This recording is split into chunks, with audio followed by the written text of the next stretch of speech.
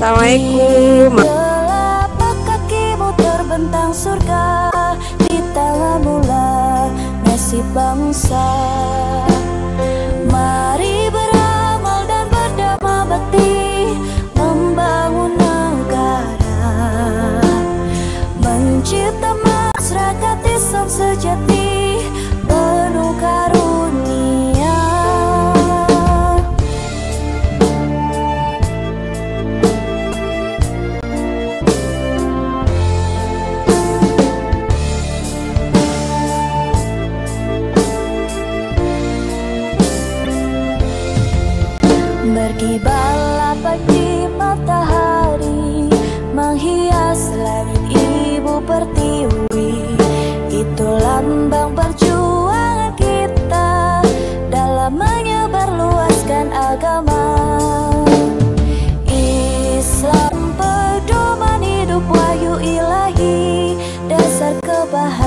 dan sejati.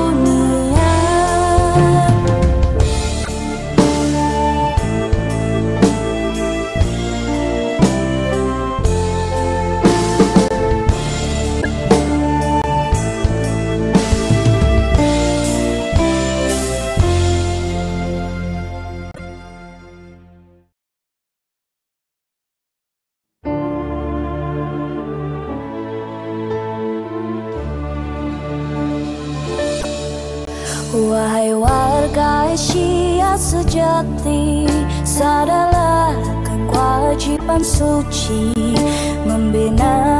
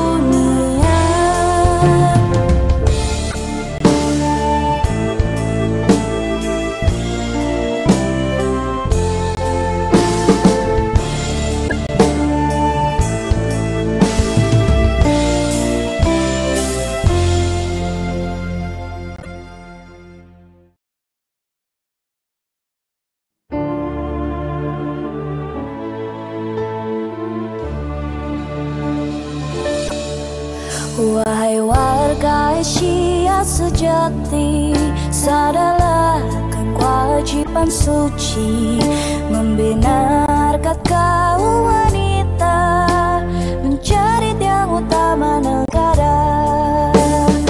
Di telapak kakimu terbentang surga Di tanganmu lah nasib bangsa.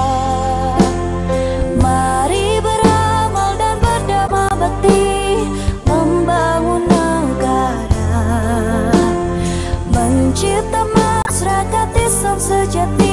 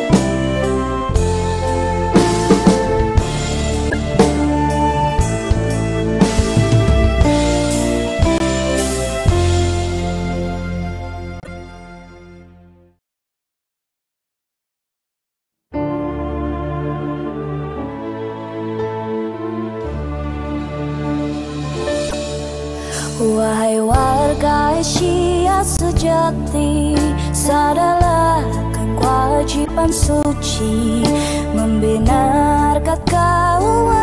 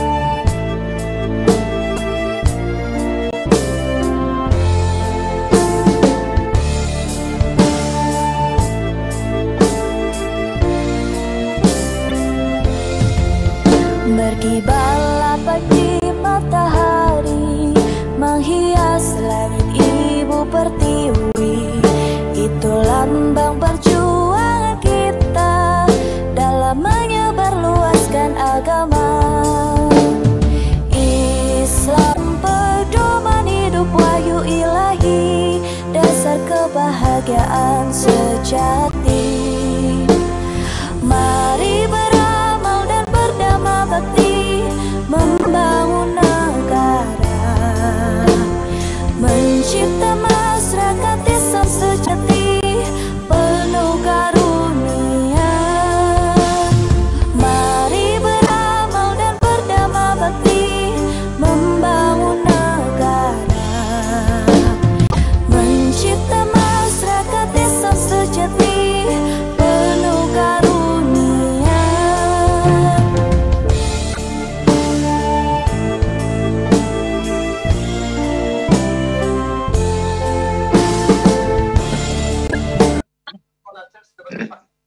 Kita mulai. Assalamualaikum warahmatullahi wabarakatuh. Assalamualaikum warahmatullahi wabarakatuh. Alhamdulillah.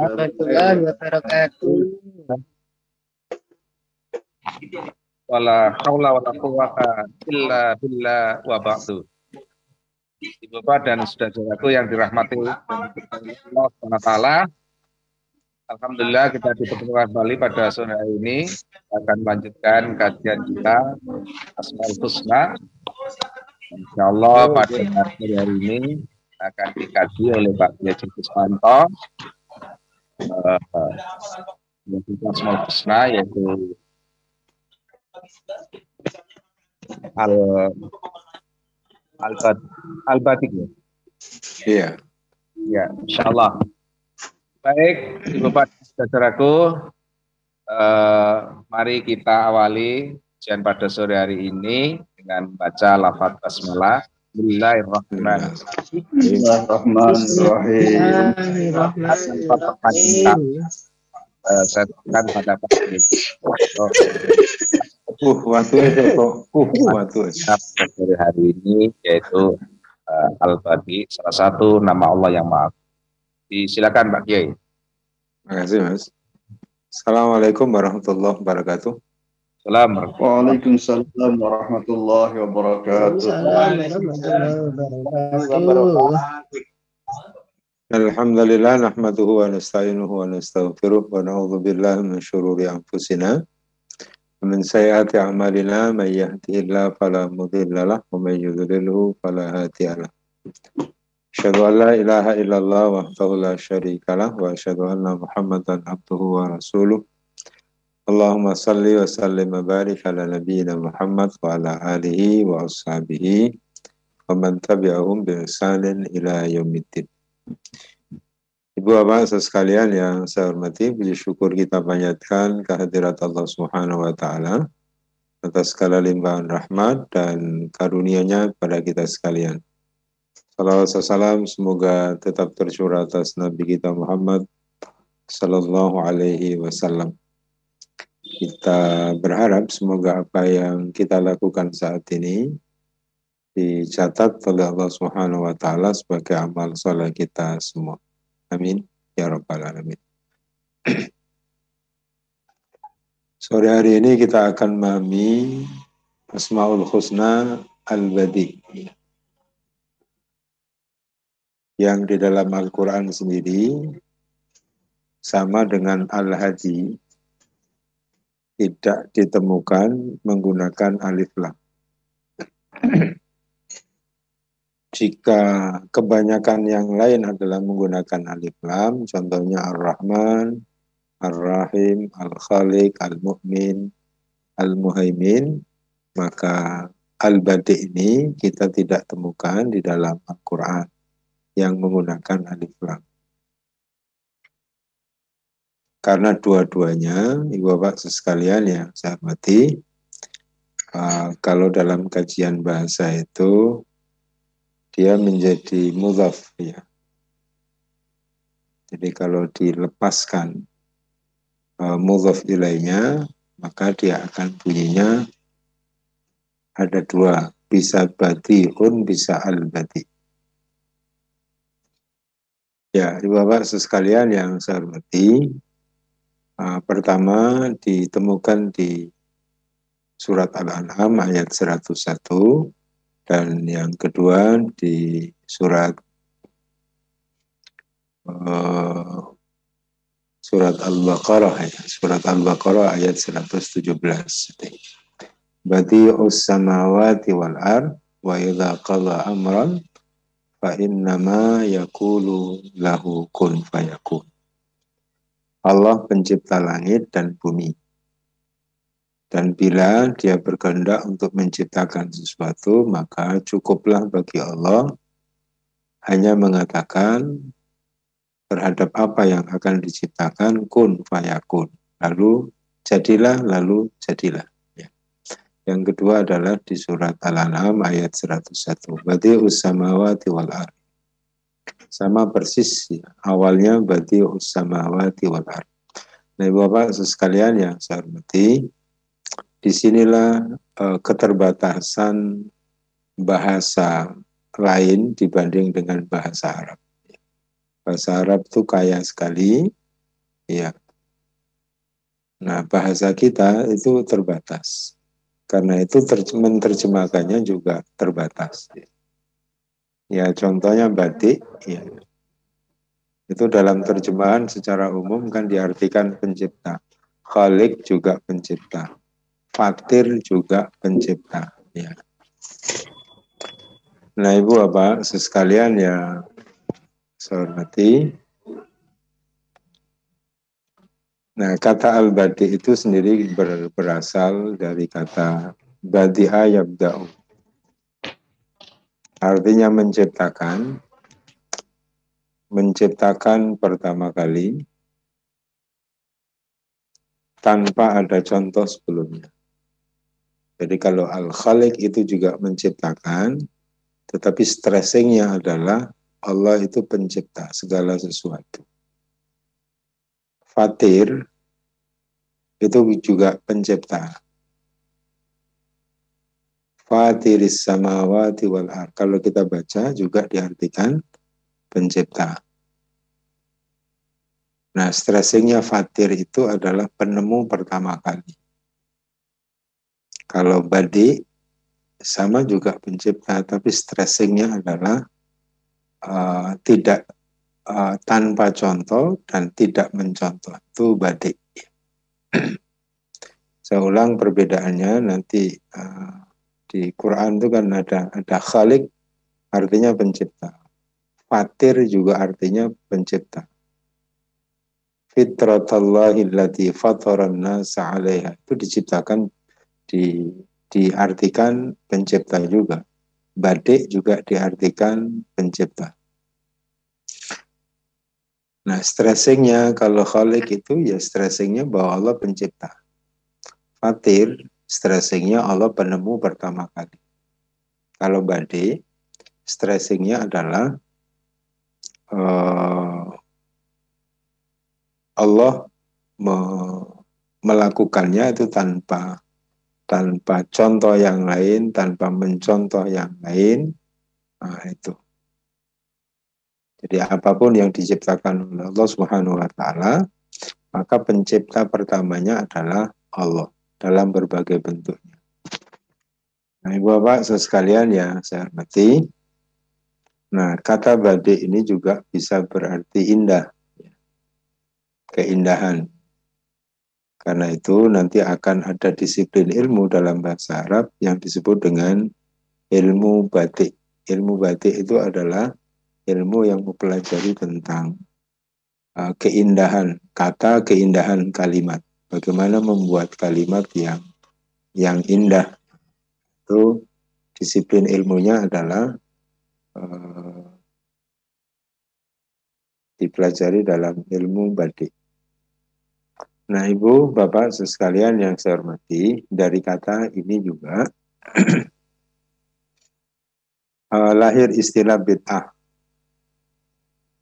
sebagaimana yang sering kita dengar. Bid'ah itu adalah sesuatu amalan yang baru dalam agama yang tidak pernah dicontohkan oleh Rasulullah Shallallahu Alaihi Wasallam.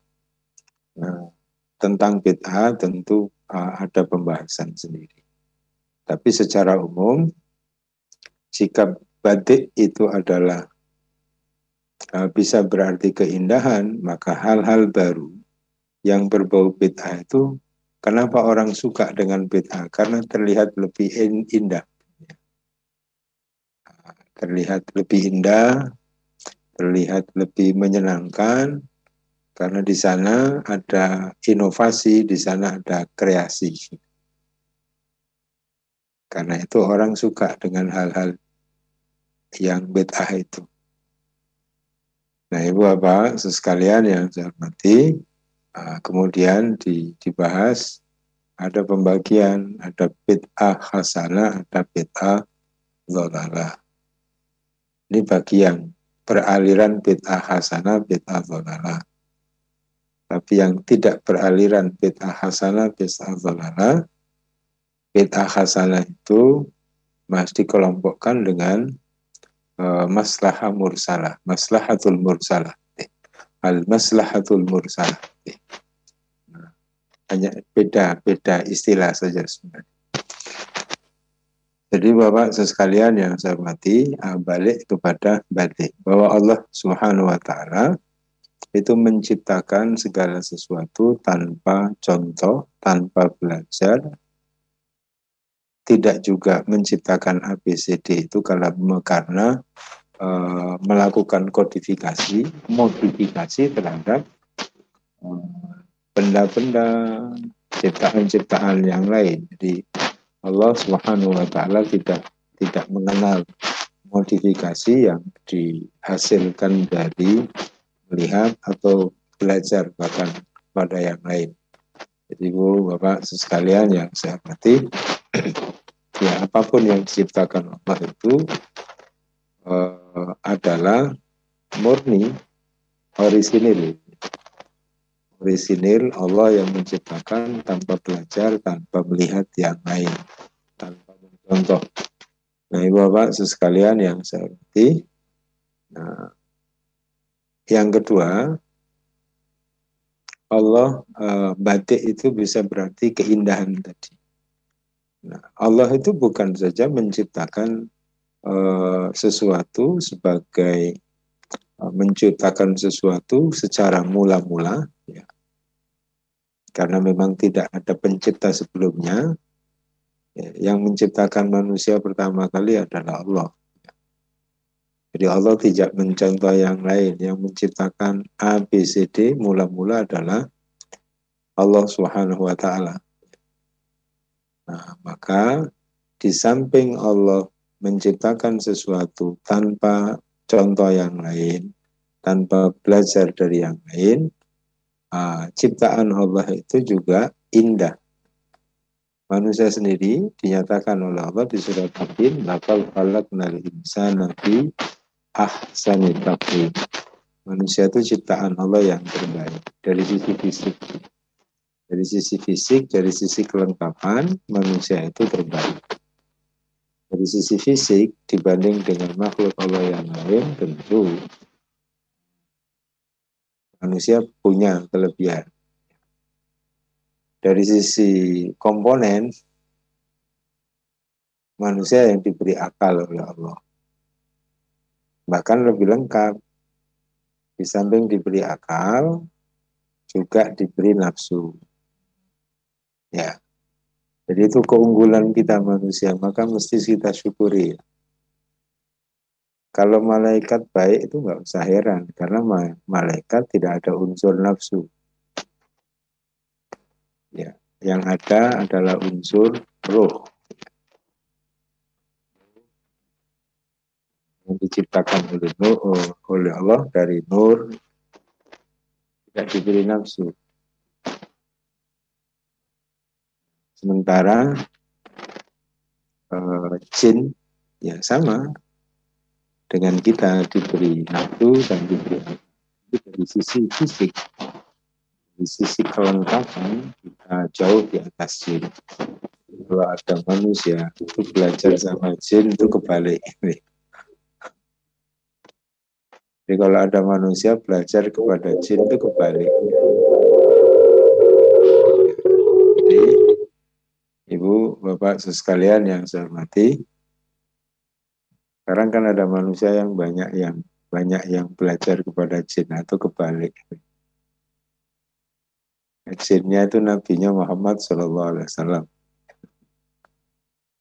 Dari sisi fisik, manusia justru lebih unggul ya, lebih lebih diberi keistimewaan oleh Allah Subhanahu wa taala.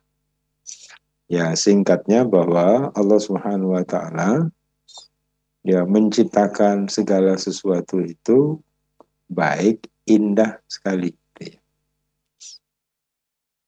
Ya, contoh ciptaan Allah berupa kita manusia. Langit yang kita lihat ke atas itu kan indah sekali gitu ya. Maka banyak ayat yang memberikan isyarat Allah itu memperindah, menghiasi langit dengan berbagai bintang ke bintang. Maka kita disuruh disuruh memperhatikan oleh Allah Subhanahu wa taala supaya melihat ciptaan Allah yang mula-mula itu ternyata indah. Afalam yang zuruna ila samawat. Ya.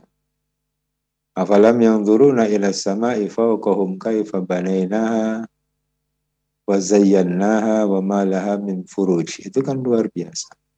Ini penegasan Allah, kita disuruh memperhatikan, tapi kemudian dibatasi oleh Allah.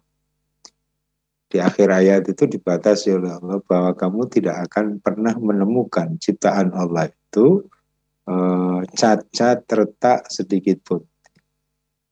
Kalau Bapak bisa, Bapak Ibu ada Qurannya, bisa dibuka di surat Qaf ya, surat Qaf ayat 6 Afalam yang duru, afalam yang duru ila sama. Kaifa banainaha wa zayyannaha wa malaha min, min furuj. Maka apakah mereka manusia itu tidak memperhatikan ila sama kepada langit. Apakah manusia itu tidak memperhatikan langit? Langit itu apa? Langit itu yang ada di atas kita itu langit maka yang di atas kita, di rumah kita itu disebut langit-langit karena di atas kepala kita. Ya. Yang namanya sama itu ya di atas kita. Kaifa banainaha wa. Bagaimana kami meninggikannya. Wa dan menghiasinya. Wa malaha min furuj. Dan langit itu tidak terdapat cacat, tidak terdapat retak-retak sedikit pun. Bagaimana melihat retaknya langit itu di mana? ya indah sekali. Ya pagi-pagi kita lihat langit indah, siang indah, malam, sore indah, habis hujan indah. Gitu itu ngeluk, kalau ngelukis itu berapa? Habis cat berapa gitu ya? Kita ngelihat uh, lukisan orang uh, terlihat indah sedikit itu sudah kagumnya sama sekali tapi nggak pernah kagum ngelihat langit. Lukisan orang tuh hanya ukuran berapa membutuhkan cat berapa warnanya terbatas coba kita lihat langit itu kalau harus ngecat pakai apa Kalau harus gambar pakai apa? Indah sekali. Ya, maka bunyinya sama semua. Zayyannah, kami hiasi langit itu. Kadang hiasan langit itu, itu berupa mendung, berupa mega. Nah, habis hujan itu nanti ada bias pelangi gitu ya. Malam ya juga indah. Ada bulan, ada bintang. Inna zayyana sama dunya bizinatil kawakib. Sesungguhnya kami telah menghiasi langit yang terdekat. Dunia sama dunia, langit terdekat. Jadi dunia itu artinya dekat. Salah satu salah satu arti dunia itu de, dekat. Dari mana kita lihatnya? Dari dari ayat ini. Nah, bisa dicek di surat As-Sofat, surat ke-37 ayat 6. Inna zayyana sama dunya bizinatil kawakib. Sesungguhnya kami telah menghiasi langit yang terdekat. Ya langit yang di atas kita ini dihiasi sedemikian rupa oleh Allah Subhanahu wa taala uh, dengan uh, hiasan yaitu apa? bintang-bintang. Malam hari kita lihat uh, betapa bintang itu uh, terlihat indah juga di beberapa tempat yang lain. Ya. Allah nyatakan hal yang sama.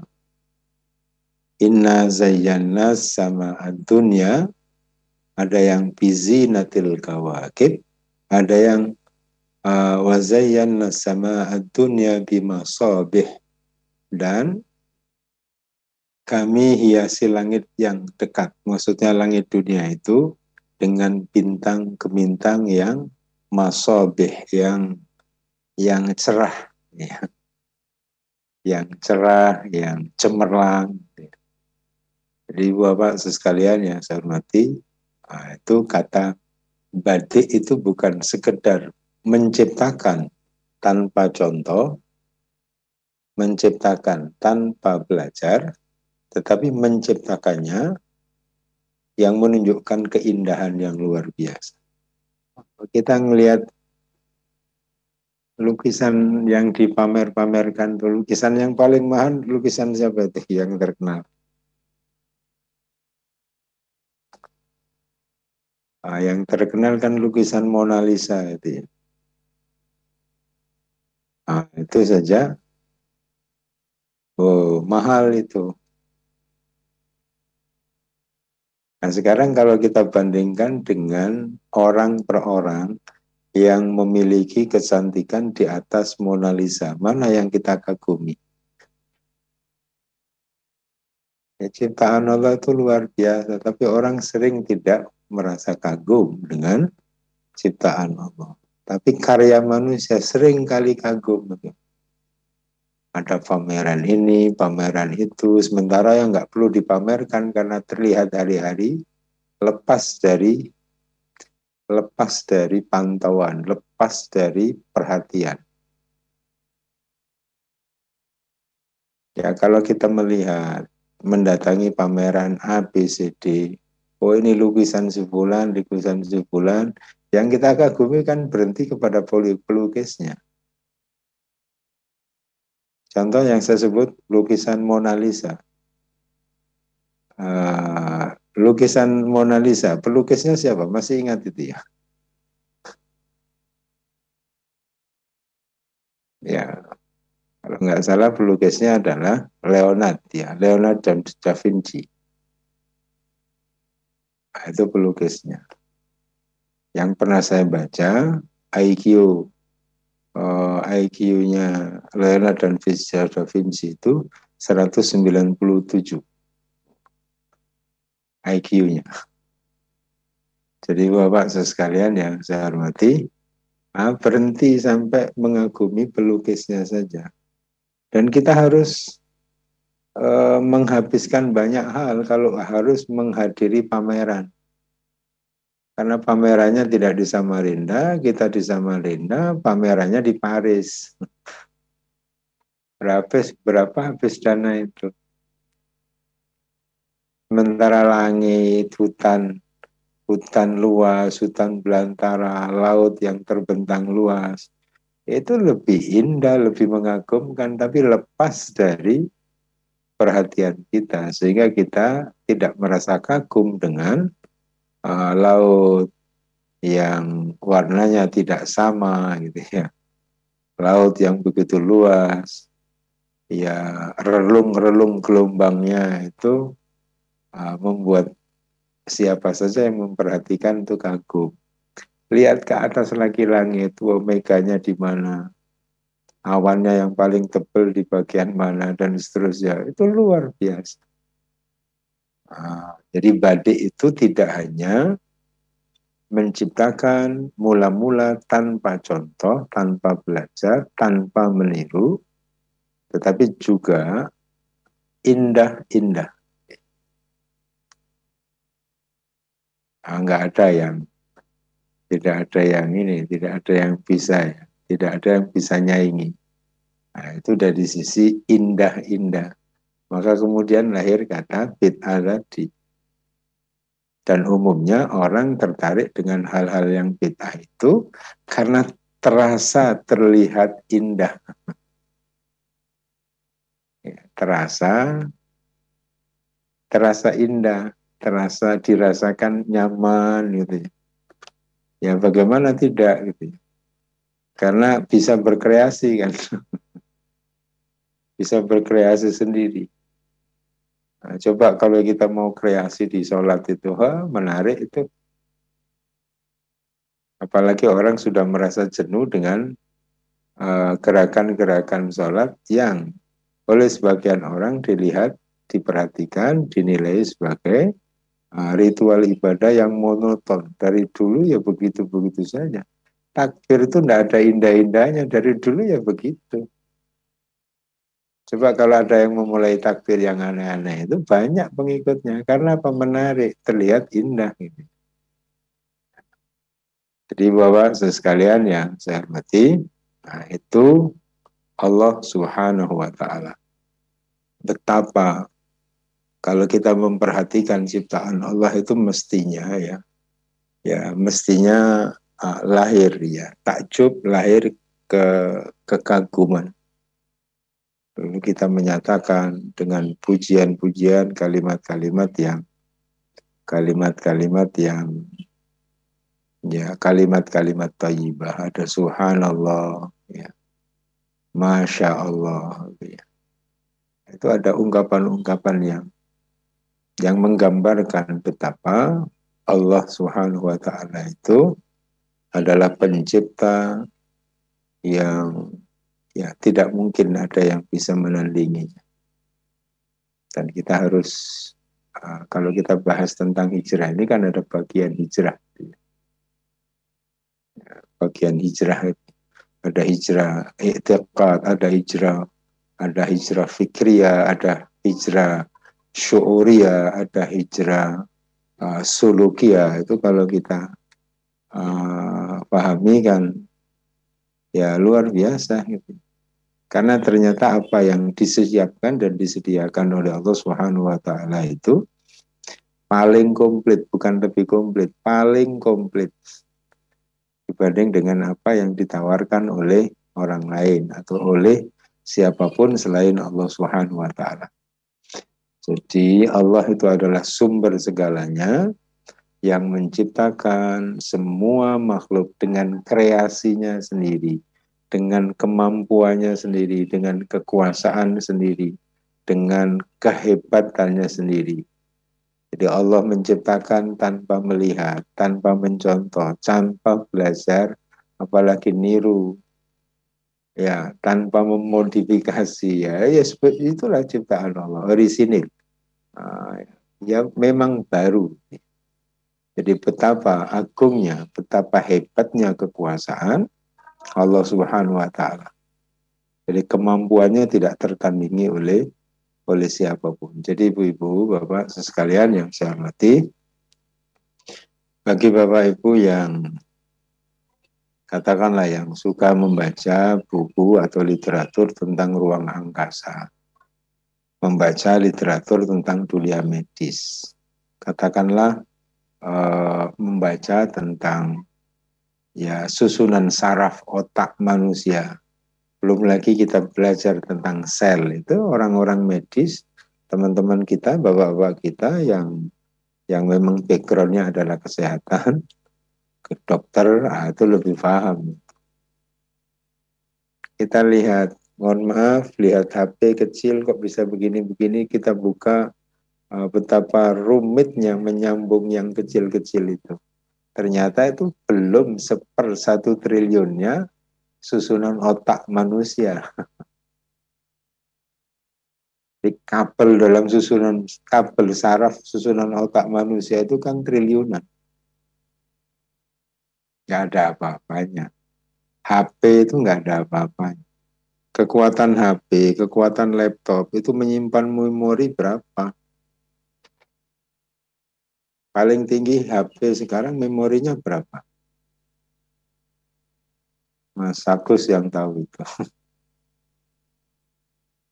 ya. Atau Pak Falah, ada Pak Falah ya? Pak Falah yang tahu. Sekarang HP HP terbaru paling tinggi memorinya berapa ya? Ya Ustadz, Berapa Pak Fala? ya 8 GB, ada 10 GB Pak Ustadz memorinya Nah. untuk HP. HP kok? Iya, 8 GB, 10 GB. Oh, kok cilik itu? 256 Dad. 256. Tertinggi sekarang. Tertinggi 512. Ada 512 sudah 512 ya. ya. Yang tertinggi 5, 512. Tidak sampai 1 tera. Sementara kemampuan memori otak manusia itu yang baru terdeteksi oleh ilmu pengetahuan dan teknologi itu diperkirakan lebih dari 1 100 juta giga. Bisa dibayangkan. Kemampuan otak manusia bisa menyimpan data itu sebera- sebesar 100 juta giga. 100 juta giga itu seberapa? Bahkan mohon maaf, ada yang memperkirakan 100 miliar giga. Jadi kalau manusia itu yang pinter-pinter itu ternyata belum sampai 7% dia memaksimalkan kemampuan otaknya. Yang jenius-jenius itu belum sampai 8% dia mem- mem- mem- memaksimalkan kemampuan otaknya. Nah, tahu kita ini berapa, baru berapa persen menggunakan potensi otak kita.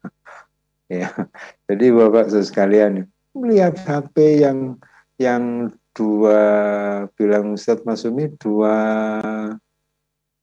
satu dua delapan ya, ada dua dua dua dua berapa dua 256 Dad. dua lima enam ya.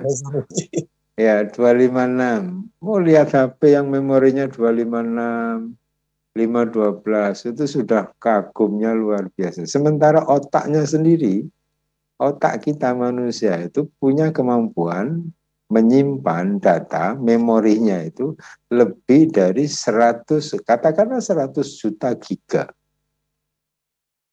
Gimana 100 juta giga? Satu giga saja eh satu tera saja sudah luar biasa.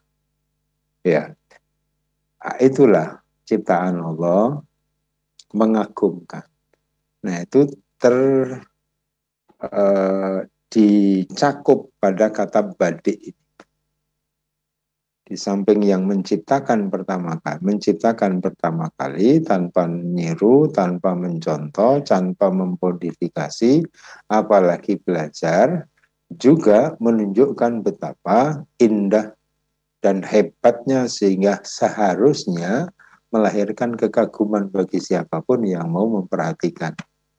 Maka tantangan dan tawarannya di surat Qaf itu kan Allah menyatakan afalam yang zuru ilas sama fawqahum kaifa banainaha wa zayyannaha wa malaha min furuj Tidakkah mereka memperhatikan langit yang di atasnya itu?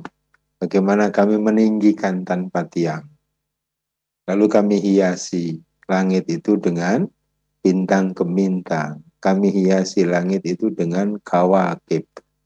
Ya, langit ka- kami hiasi dengan planet-planet, mega, awan, dan lain-lain itu. Oh, luar biasa itu. Nah, itu badik ya. Jadi Bapak sekalian yang saya hormati, sehingga nyaris apa yang diciptakan oleh Allah Subhanahu wa taala itu tanpa tanpa cacat.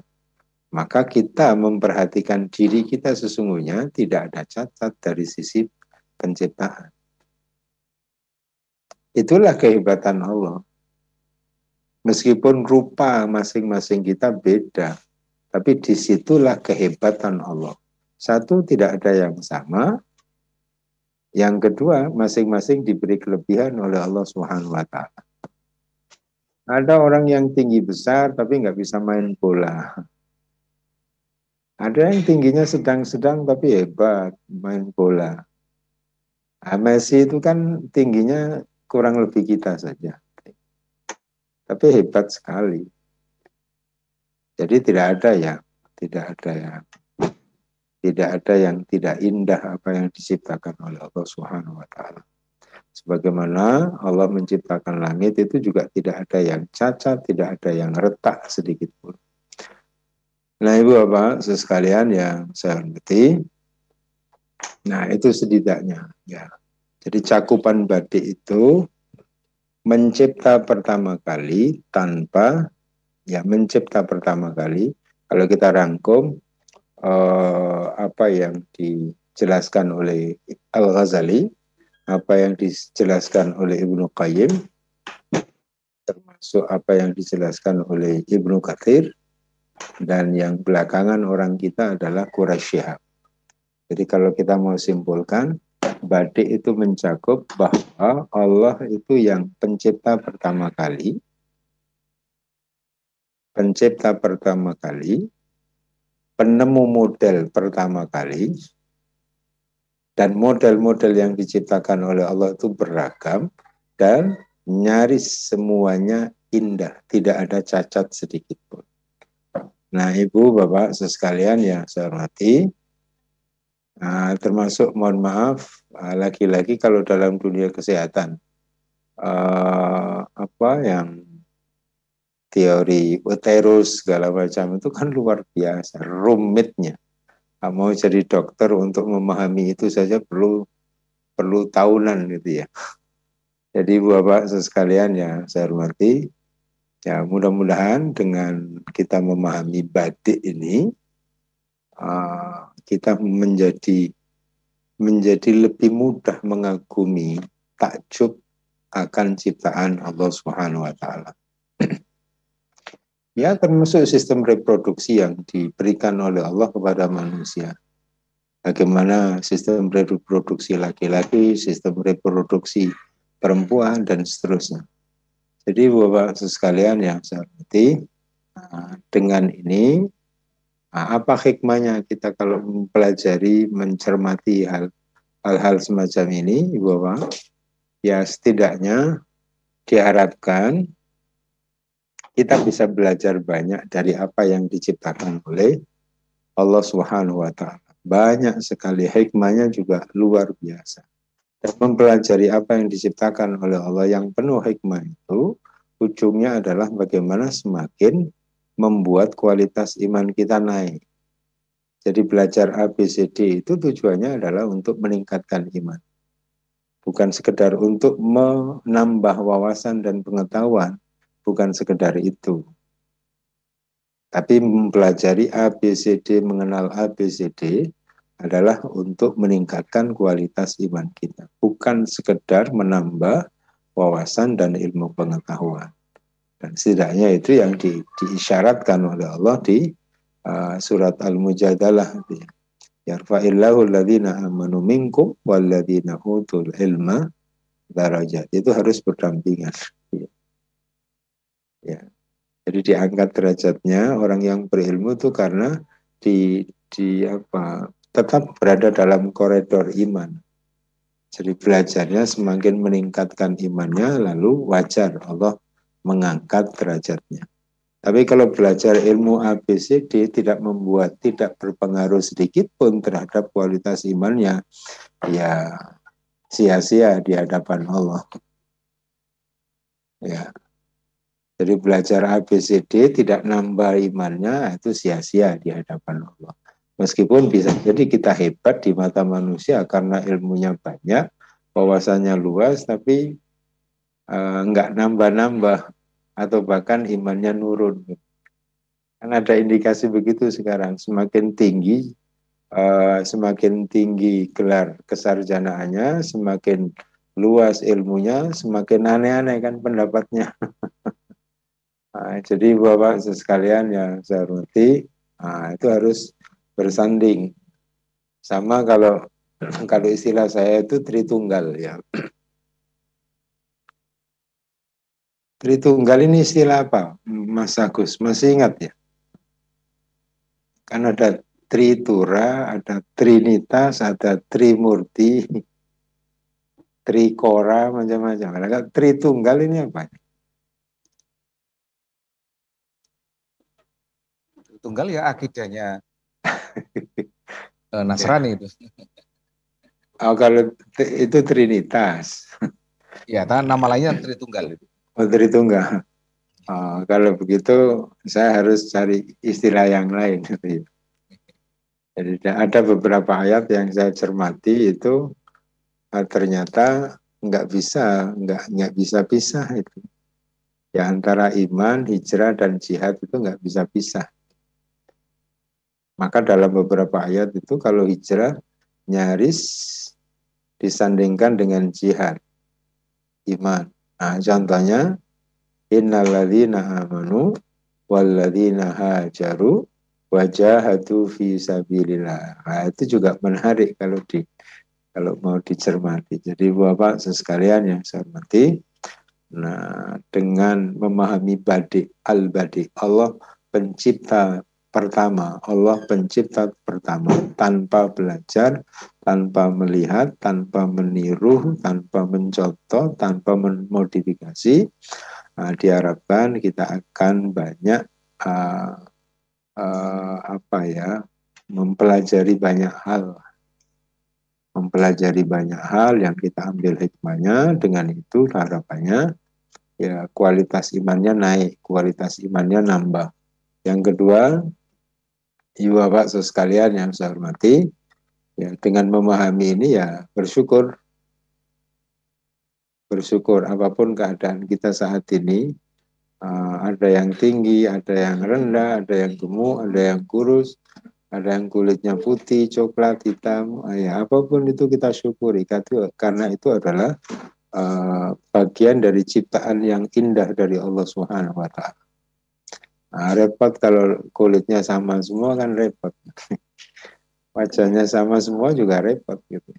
Dan yang ketiga, Ibu Bapak sekalian yang saya hormati, nah, dengan memahami sifat Allah Al-Badi ini, nah, diharapkan kita bisa lebih lebih apa ya, lebih kreatif, lebih inovatif gitu. Nah, tentu tidak semua ya, tidak semua sesuai dengan ya bidang yang digeluti masing-masing. Kalau semua disuruh kreatif ya repot gitu. Si A yang kreatif dalam bidang apa, si B kreatif dalam bidang apa. Jangan semua orang disuruh kreatif. nah, kalau semua kreatif ya bingung. Kul kullu ya'malu ala syakilati. Kalau menuntut semua orang kreatif itu ya ya ayatnya kan kul kullu ya'malu ala syakilati. Masing-masing itu bekerja berbuat sesuai dengan kapasitas dan uh, kemampuan tempat yang digeluti. Jangan menuntut, jangan menuntut uh, katakanlah uh, arsitektur itu ya, arsitek ya. Jangan menuntut arsitek itu bisa menghafal banyak ayat. Sedemikian, demikian pula sebaliknya. Kalau syakilati, kul kullu ya'malu ala syakilati, itu yang digeluti adalah ayat-ayat Quran, yang digeluti adalah hadis-hadis Rasulullah. Ya jangan dituntut punya kemampuan macam-macam. Manusia itu diberi batas dan kemampuan yang berbeda oleh oleh Allah. Nah, kadang kan kita menuntut orang lain supaya bisa ini, bisa ini, bisa ini, gitu. Nah, itu men men menyalahi kodrat. Karena Allah menciptakan itu nggak sama. Wafadzalnahum ba'duhum ala ba'd. Masing-masing kami beri kelebihan atas yang lain. Si A punya kelebihan apa, si B punya kelebihan apa. Dan jangan menuntut semua orang bisa sama seperti yang kita yang kita inginkan. Jadi Ibu Bapak sekalian yang saya hormati, itu barangkali ya, ya yang bisa saya sampaikan uh, mungkin jika memang masih ada waktu uh, nanti Mas Agus atau status-status yang lain bisa bisa menambahkan. Saya kira itu, Ibu Bapak sekalian yang saya hormati. Terima kasih, mohon maaf, semoga bermanfaat. Assalamualaikum warahmatullahi wabarakatuh. Waalaikumsalam warahmatullahi wabarakatuh.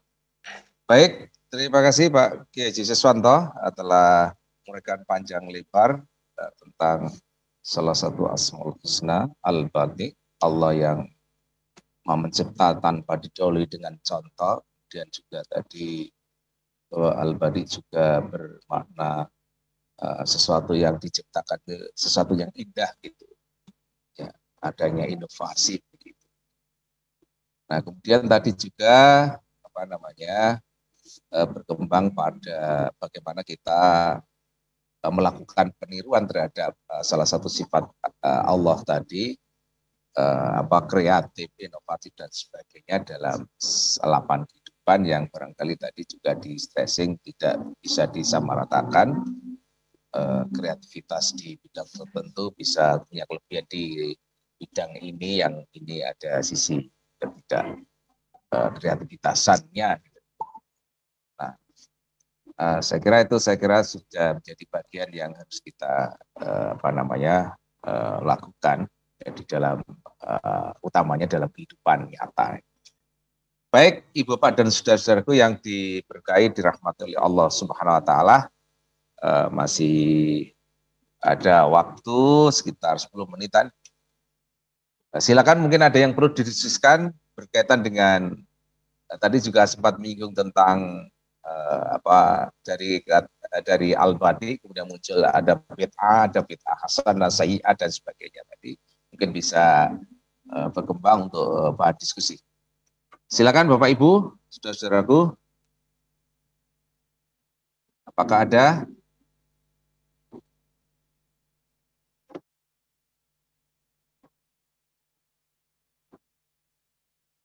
Pak Abdul Aziz Muslim, apakah ada yang belum didiskusikan? Kalau ada ya ditutup.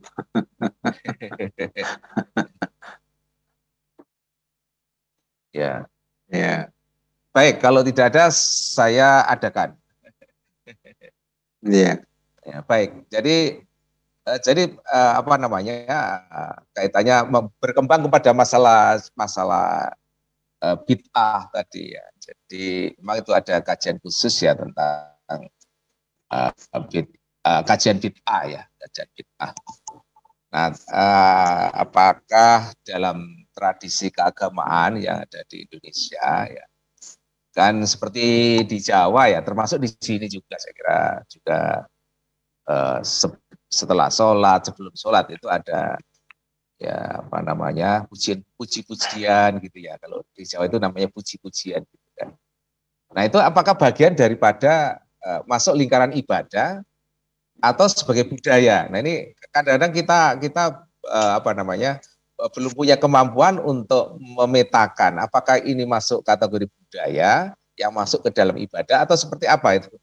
Nah ini ini, ini eh, saya juga apa namanya mendengar bahwa eh, seperti itu katanya ini tidak masalah ya kan itu eh, budaya tradi, tradisi yang tidak tidak masuk kategori ibadah. Nah ini mohon pencerahannya Pak Kiai Siswanto. Ya, secara umum ibadah itu kan dijadi bagi menjadi dua. Ada ibadah khusus, ada ibadah umum.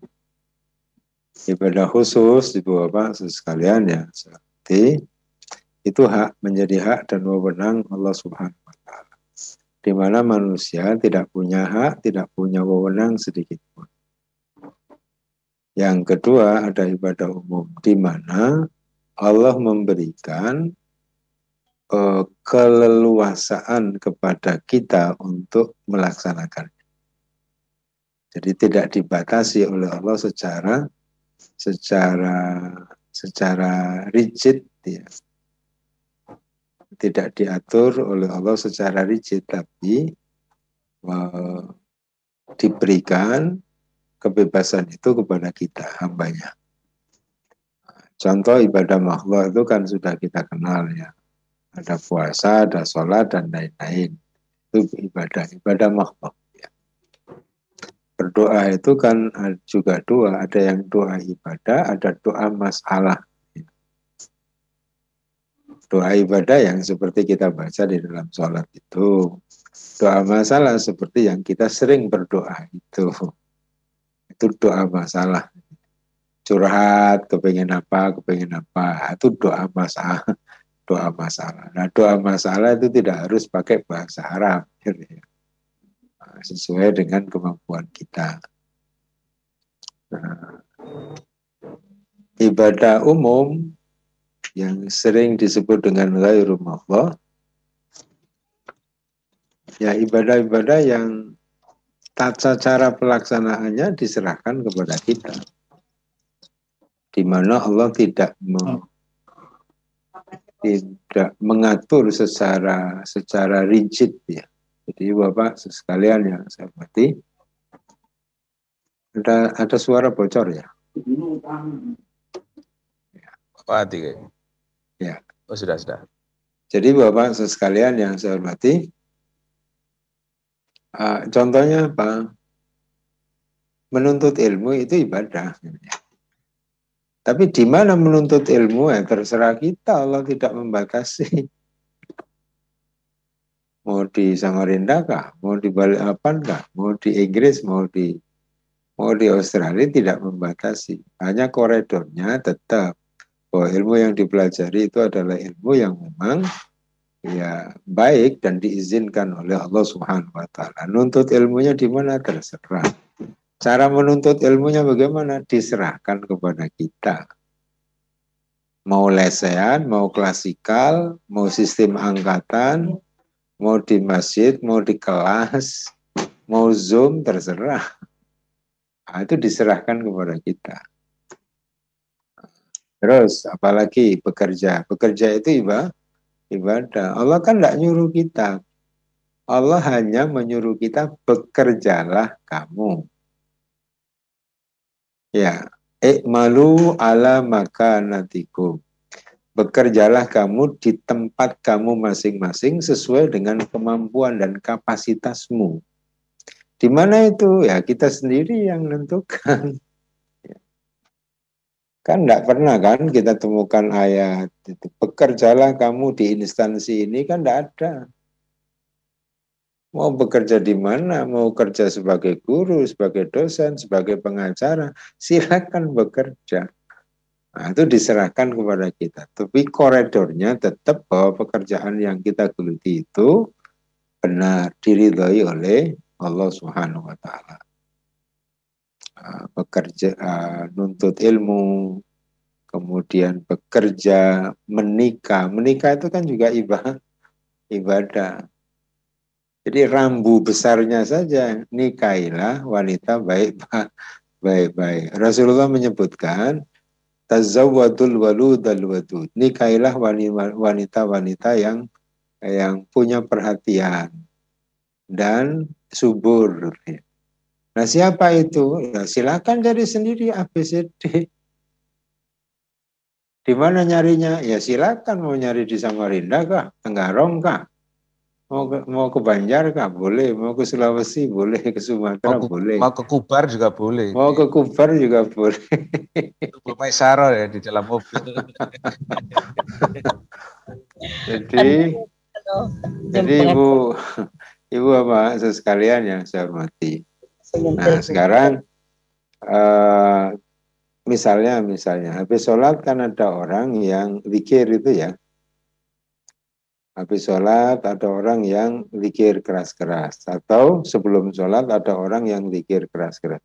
Sebenarnya itu sudah di luar koridor ibadah makhluk. Tapi yang perlu diperhatikan adalah aktivitas itu mengganggu tidak. Ya, Rasulullah SAW saja menyuruh sahabat yang baca Quran dengan suara nyaring ketika masih ada sahabat yang lain yang so yang sholat. Ya. Zikir, puji-pujian itu kan di luar ibadah, di luar sholat. Boleh enggak? Silakan, asal tidak mengganggu. Bisa enggak berzikir, pujian tanpa mengganggu yang lain? Oh nggak boleh salaman loh. Masa habis sholat salaman nggak boleh? Boleh enggak salaman habis sholat? Karena ada sebagian bilang bid'ah. Boleh salaman habis sholat bid, bid'ah. Enggak ada contoh Rasulullah. Enggak ada contoh Rasulullah. Loh, berapa banyak kita yang lakukan tanpa contoh Rasulullah? Nanti kemudian mohon maaf maulid bid'ah, Isra Mi'raj bid bid'ah. Tidak ada contoh dari Rasulullah. Ya memang itu bukan wilayah Rasulullah gitu. Rasulullah hanya memberikan koridor, ya, gambaran besar. Sekarang kalau maulid bid'ah, Isra Mi'raj bid'ah, yang membid'ahkan itu kira-kira pengajiannya di mana? Ya, tanya saja, sampean ngaji di mana? Di sini. Hari apa? Hari apa? Oh malam Selasa. Rasulullah itu tidak pernah ngaji malam Selasa. Apa mau bid'ah?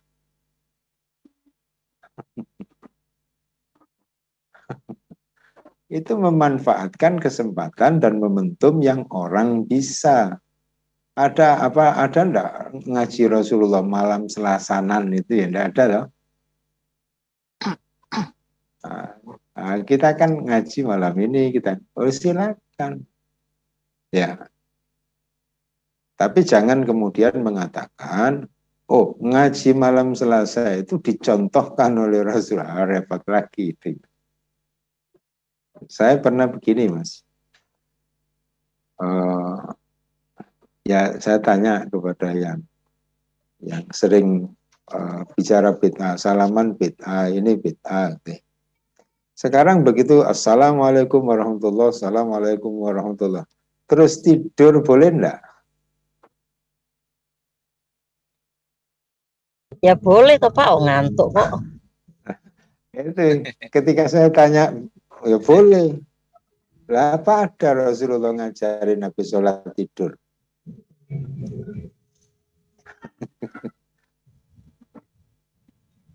ya tidurnya, sholatnya itu yang penting. Soal habis sholat mau apa-apa, ah, anjuran Rasulullah Sallallahu Alaihi Wasallam habis sholat itu ya zikir. Tapi kalau pergi itu tidak dianggap salah, cuman kurang bisa memanfaatkan waktu dan kesempatan. Doa sesudah berbuat amal soleh itu salah satu kriteria makbul. Jadi habis beramal soleh itu berdoa. Nah, ini bahasan sendiri Mas Bita. Ya, ya. Ya, makasih Mas. Baik. Baik, makasih Pak Kiai Susanto. Uh, mungkin langsung di stressing closing saja karena waktu sehingga kita bisa mengakhiri pengajian sore hari ini. Silakan Pak ya, Ibu Bapak, ya Ibu Bapak sekalian yang saya hormati, perhatikan apa yang diciptakan oleh Allah Subhanahu wa taala, khususnya adalah jika kita memahami tentang al-badi ternyata ciptaan Allah itu apa yang diciptakan oleh Allah itu adalah pertama kali dalam arti Allah tidak meniru, Allah tidak mencontoh, Allah tidak mengkodifikasi yang ada, bahkan Allah tidak belajar dari yang lain. Karena itu sederet apa yang diciptakan oleh Allah Subhanahu wa taala, nah, mari kita perhatikan karena di sana banyak pelajaran dan hikmah yang kita bisa ambil. Harapannya adalah semakin meningkatkan kualitas iman kita. Yang kedua, ragam ciptaan Allah, termasuk ragam wajah dan bentuk manusia, termasuk wajah dan bentuk kita masing-masing, syukuri itu adalah bagian dari keindahan yang yang diberikan oleh Allah Subhanahu wa taala kepada kita. Lepas plus minusnya. Tinggal siapa yang melihat itu plus, siapa yang melihat itu minus gitu. Tapi yang pasti indah. Indah itu kadang ada plus minus. Kalau plus saja itu tidak indah. Kalau minus saja itu tidak indah.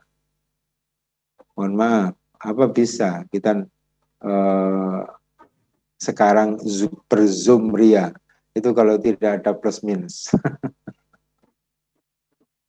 Nggak mungkin kita bisa berzoom ria sekarang ini kalau tidak ada plus minus. Nah, pakai apa kita berzoom? pakai strom listrik no? Nah, listrik itu kan ada plus minus. Nggak mungkin. Jadi plus minus itu indah. Maka jangan menuntut orang plus semua. Jangan menuntut orang plus semua. Ada sisi negatifnya, ya itu wajar namanya manusia. Tapi sebisa mungkin uh, kita memanage bagaimana yang yang minus atau yang ya yang minus ya dalam tanda kutip itu bisa menaikkan yang plusnya. Ya. Yang kedua uh, itu yang kedua maka kita mesti ya berusaha untuk mensyukuri bukan mensyukuri apa adanya tapi mensyukuri apa yang yang ada. Itu kata demasif ya. Bukan mensyukuri apa adanya. Kalau mensyukuri apa adanya itu enggak ngapa-ngapain. Mensyukuri apa yang ada. Dan yang ketiga, ini Bapak sekalian ya, seperti ya marilah kita berkreasi, berinovasi, untuk menaikkan grade keimanan kita sesuai dengan kemampuan kita masing-masing. Jangan menuntut orang lain, orang bisa menuntut orang lain bisa seperti kita bisa nggak bisa. Orang pinter membuat ABC, kita pinter membuat ABCD. Lalu kita tuntut orang itu juga pinter membuat ABCD yang nggak bisa. Kul kullu ya'malu ala syakir. Dan itulah yang dibagi oleh Allah Subhanahu wa taala. Satu diberi derajat lebih oleh Allah dibanding yang lain. Di sisi lain yang derajatnya lebih tadi tidak punya kemampuan seperti yang derajatnya kurang. Ya contohlah majikan sama sama pembantu, majikan sama pekerja, bos sama karyawan. Nggak akan jalan kalau tidak ada karyawan. Orang kaya itu karena ada karyawan. Maka jadi jadi bos, jadi karyawan jangan mentang-mentang. Ya betul dia punya derajat, tapi derajatnya itu tidak akan berarti apa-apa ketika karyawannya itu metu semua siapa yang ngerjain. Ya, silakan berinovasi ria, tapi jangan menuntut orang bisa seperti yang kita bisa. Karena masing-masing diukur oleh Allah. Ya, semangat. Karena inna inna kul ya inna kulla syai'in khalaqnahu biqadar. Itu Allah menjelaskan. Inna kulla syai'in biqadar. Sesungguhnya kami menciptakan segala sesuatu itu dengan ukurannya masing-masing si A ukurannya seperti apa, si B ukurannya seperti apa, si A punya kemampuan seperti apa, si B punya kemampuan seperti apa. Jadi sudah diukur oleh Allah. Supaya apa? Supaya hidup itu tetap indah. Nah, kalau sama semua apa yang yang indahnya itu apa? Saya kira itu Bapak sekalian yang saya hormati. Sekali lagi mudah-mudahan ini semakin membuat kita lebih lebih baik ke depannya mulia di hadapan Allah, terhormat di hadapan sesama manusia. Dan Allah berkenan mengakhiri usia kita semua kelak dalam keadaan husnul khatim. Amin. Assalamualaikum warahmatullahi wabarakatuh. Waalaikumsalam warahmatullahi wabarakatuh. Baik, terima kasih Pak Kiai dengan ditutupnya uh, apa yang disampaikan Bapak beliau, maka baiklah ujian pada sore hari ini. Uh, mari kita akhiri majian pada sore hari dengan baca lafaz hamdalah. Alhamdulillah terima kasih atas perhatian Bapak Ibu sudah saudara sekalian. Mohon maaf dan batin. Assalamualaikum warahmatullahi wabarakatuh. Warahmatullahi wabarakatuh. Pamit semua Bapak Ibu. Iya Pak. Terima kasih Pak Ustaz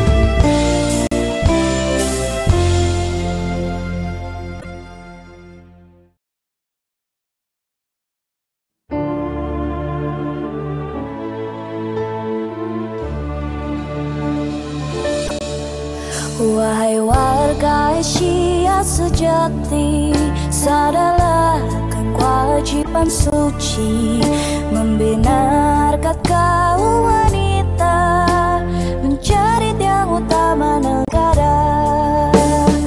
Di telapak kakimu terbentang surga Di tanganmu lah nasib bangsa